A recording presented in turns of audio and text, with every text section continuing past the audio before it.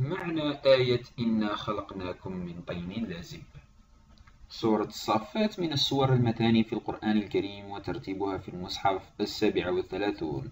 تقع بين سورة ياسين وسورة صا وسميت باسم الصافات نسبة للآية التي تبدأ بها السورة والتي يقول فيها الله تعالى والصافات صفا وهو وصف للملائكة الكرام عليهم السلام ويهتم الكثيرون بالتعرف على معاني آيات سورة الصافات وخاصة معنى آيات. إنا خلقناكم من طين لازب.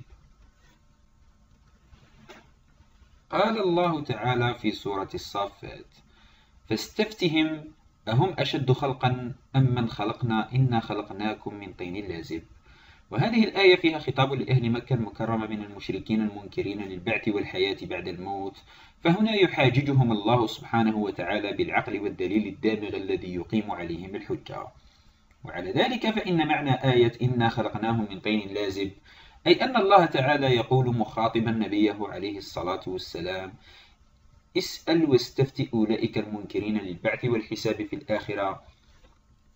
هل خلقهم وإماتتهم ثم إحياؤهم مرة أخرى بعد الموت هو أشد وأصعب أم ما خلقه الله؟ كخلق السماوات والأرض والجبال والبحار والملائكة والجن إنا خلقنا آباهم آدم من طين لزج يلتصق بعضه ببعض.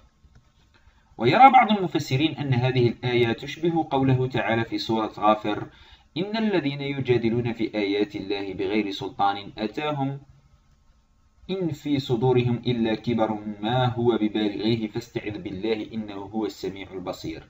لخلق السماوات والأرض أكبر من خلق الناس ولكن أكثر الناس لا يعلمون. ثم يوضح الله تعالى أصل خلق الإنسان فيقول إنا خلقناكم من طين لازب. فالإنسان إذا مخلوق ضعيف قد خلق من ماء وتراب وهو الطين. وقيل طين لازب يعني طين لاصق يتلاصق بعضه ببعض. أو يلتصق باليد.